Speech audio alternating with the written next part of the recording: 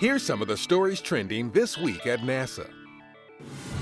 On May 16th, NASA held a media event at Marshall Space Flight Center in Huntsville, Alabama, to highlight the recent arrival of the barge Pegasus with the first core stage test article for NASA's Space Launch System rocket.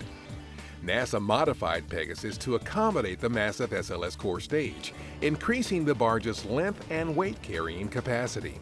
The core stage test article, manufactured at the agency's Michoud assembly facility in New Orleans, is the first of four core stage test articles scheduled to be delivered to Marshall for testing.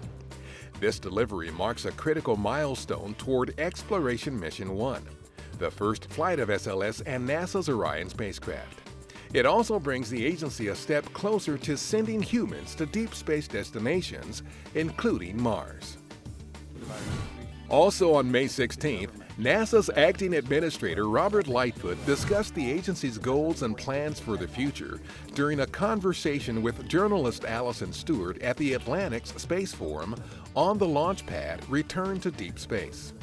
The event, held at the Newseum in Washington, brought together policymakers, key players from NASA, and space industry experts to explore the technologies needed for successful human missions to deep space.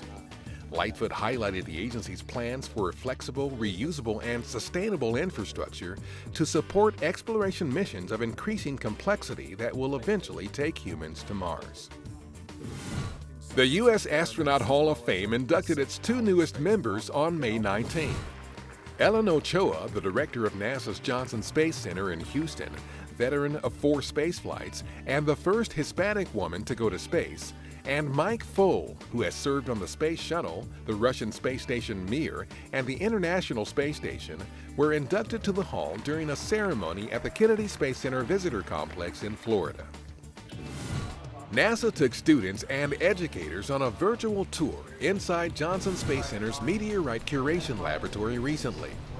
The activity highlighted the special facilities and tools used to examine meteorites discovered in Antarctica and explained how these rocks help researchers understand more about our solar system.